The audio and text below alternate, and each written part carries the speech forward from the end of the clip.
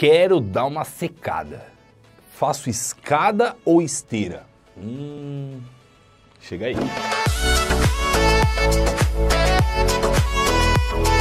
Salve, salve, lindos e lindas! Lá, lá, Refundini chegando com esse negócio de faz escada, faz esteira, faz bike, faz transporte. Que aparelho de cardio que você vai fazer, hein? A galera geralmente fala que a escada é melhor, né? Será que a escada é melhor mesmo? Hum, vocês vão descobrir nesse vídeo aqui. Mas já vou fazer o seguinte, ó. Se você já acompanha o trabalho e ainda não é inscrito no canal, meu, na moral, se inscreva aí, vai porque eu tenho certeza que o conteúdo que eu levo para você é bacana, é top e eu mereço a sua inscrição, tá bom? E se você achar que é bacana mesmo, deixa o like também. Vamos lá, vamos falar desse negócio de escada aí. A escada na academia é um inferno, porque, mano, você quer fazer escada, tá ocupado, todo mundo faz escada. Na academia aqui que eu trabalho, pra você ter noção, tem que colocar a lista lá, tem um, uma reserva de horário para fazer escada, bicho. Agora que esse negócio da pandemia tá mais de boa, né? Mas antigamente, mano, nossa, fazer escada, meu, ó, você chegou na academia, tá vazia, você nem ia, vai fazer cardio, você nem ia fazer naquele dia, mas já sobe lá, porque aquele negócio tá sempre com alguém lá em cima. Exagerado? Não, em alguns lugares é assim mesmo, e aqui era, hein? O que acontece é o seguinte, meus amores, vamos lá. Primeiro, quando você faz cardio, exercício cardiorrespiratório, por isso que a gente fala cardio, ou se você preferir, exercício aeróbio. Que na verdade os dois nomes são completamente imbecis, porque todo exercício que você vai fazer é cardiorrespiratório. Você não para o coração ou o pulmão para fazer musculação. Né?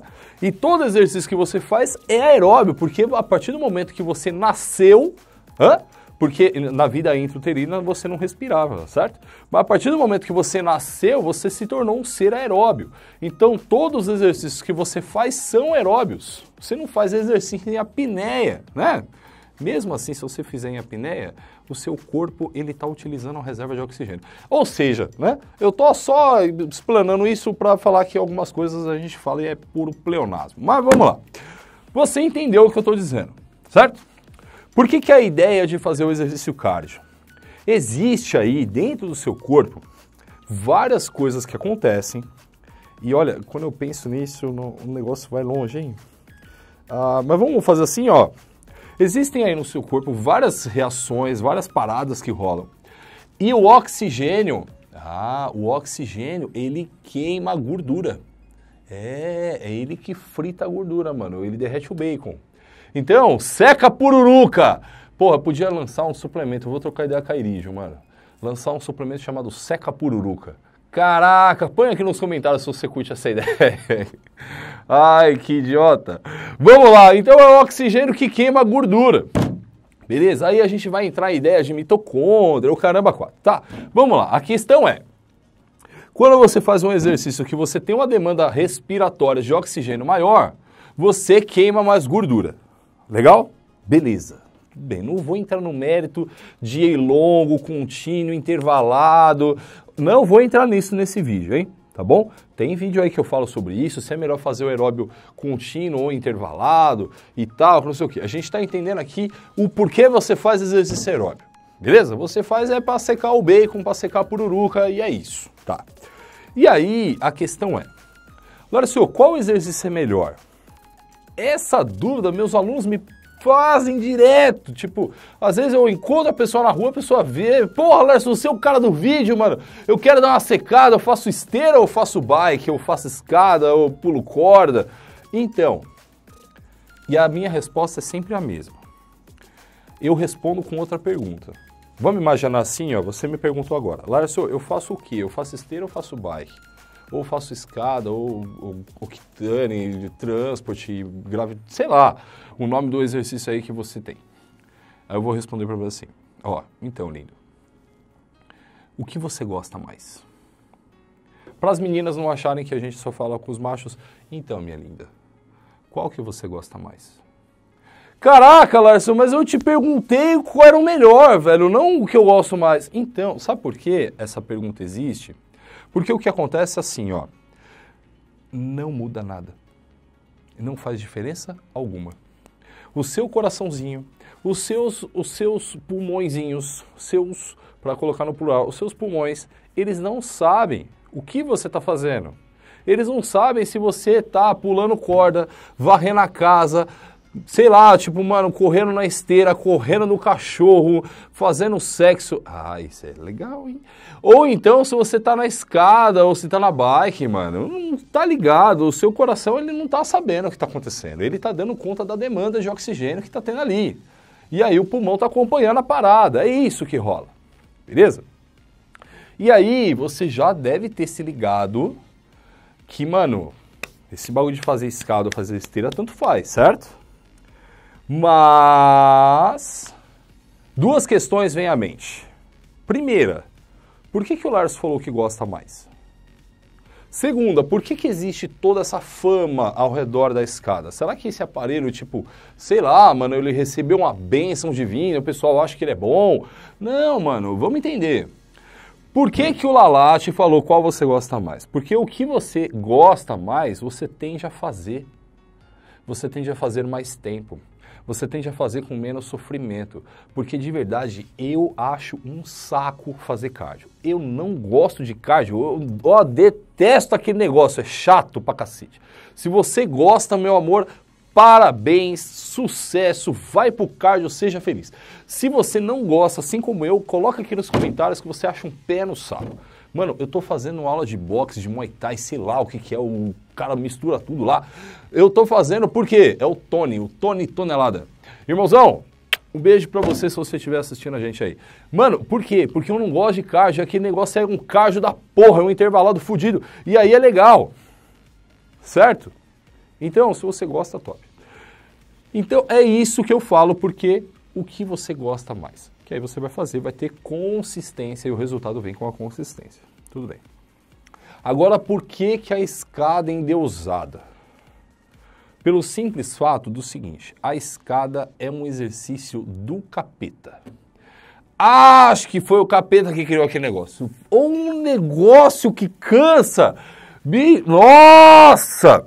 Se você faz escada e você se sente cansado, um morto, um lixo depois de 20 minutos em cima daquele negócio, comenta aqui embaixo, porque olha que negócio do cão, velho. A escada é um inferno aquele negócio. Você sobe e já deu para perceber que eu gosto pra caramba, né? eu coloquei vários adjetivos piores possíveis aqui pra escada. Qual é a questão? Cansa que só caramba. Então, você sobe na escada e em 20 minutos parece que você estava debaixo do chuveiro, porque o negócio é rock and roll, velho. Enquanto na esteira você tem que correr que nem um camelo desesperado atrás de água para conseguir subir a frequência e suar daquele jeito. Na bicicleta, então, nossa, mano, bicicleta não sobe a frequência de jeito nenhum. A perna queima que só o caramba, parece que está subindo as labaredas e não chega na frequência tem que colocar carga e pegar da 3, aí vai para o negócio conseguir ir. Agora na escada, irmão, a sensação que dá é que você sobe na escada, a frequência já vai para. É, você nem ligou a escada ainda. Você subiu na escada, só a frequência já subiu, o seu coração já está 120.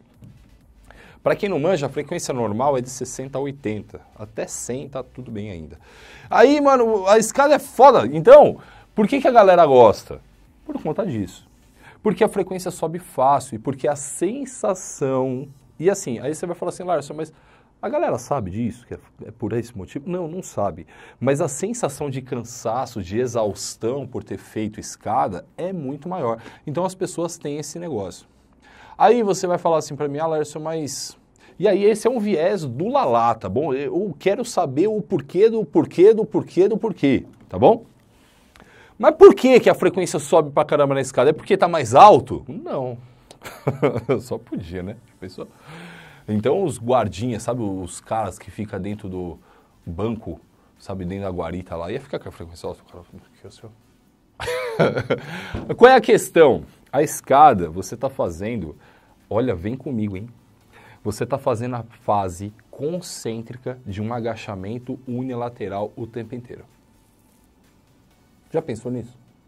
Você já pensou que quando você vai para a escada, você levanta todo o seu peso num, numa perna só, Eu ia falar um pé só. Levanta todo o seu peso numa perna só, depois levanta todo o seu peso na outra perna e aí você vai trocando. Caraca, mano, aquele negócio é do mal mesmo. Então, esse é o ponto. Vai subir fácil a frequência, porque a exigência muscular é alta. Certo? Lárcio, então eu faço escada ou faço esteira? Mano, eu não sei.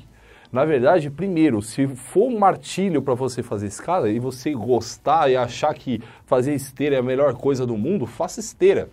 Agora, se você está pensando e você tem uma elevação da frequência cardíaca de forma mais facilitada, sem tanta exigência de ficar ali se matando, a escada parece ser uma melhor opção. Mas eu já te faço uma advertência, hein? Se você vai para a escada, a ideia é você levantar todo o seu peso numa perna só e depois ir trocando isso. Ó, eu vou falar com carinho agora, mas é uma bronca.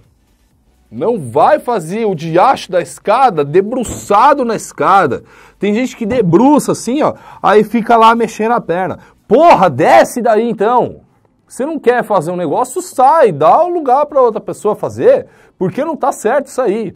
E eu já fiz vídeo aqui no canal ou no canal da Iridium Labs falando sobre isso. Já aproveito e te convido lá pro canal também. Mano, faz o negócio direito. Aí o negócio cansa. Por que, que a pessoa debruça lá? Parece que. Debruça porque está cansado. E aí debruça ali você tira 50% do seu peso. Ah, aí fica muito mais fácil fazer, né? Então sai daí. Já que você quer ficar com 50% do peso a menos, vai lá para a bicicleta, que lá você está sentado ainda. Tem aquelas bicicletas, a gente brinca que é bicicleta de preguiçoso. Ai, caraca! Bicicleta, é cada coisa que eu lembro. Sabe o que é a bicicleta do preguiçoso? A bicicleta do preguiçoso é aquela bicicleta que tem apoio nas costas. Mano, aquele bagulho parece um sofá, velho. a pessoa senta, apoia as costas, aí fica ali só com o pé. Parece um pedalinho. Sabe que tem nas represas? Pedalinho, parece um pedalinho o negócio. Então não, né? Galera, vamos treinar, tá bom? Ou então, se você não ia fazer nada e tá fazendo ali, já tá bom. Né? Seguinte, ó. Se inscreva no canal, vai. Vai, dá essa moral, porra. Esse vídeo foi legal, eu me diverti aqui. Eu espero que você tenha percebido que eu me diverti. Se inscreva no canal, deixa o like aí também. E faz o seguinte, ó, me acompanha lá no Insta. Ah, é meu Insta é legal. É, tem uns stories, tem uns posts. Ah, cola lá. Vai ser um prazer te receber lá. Um beijo.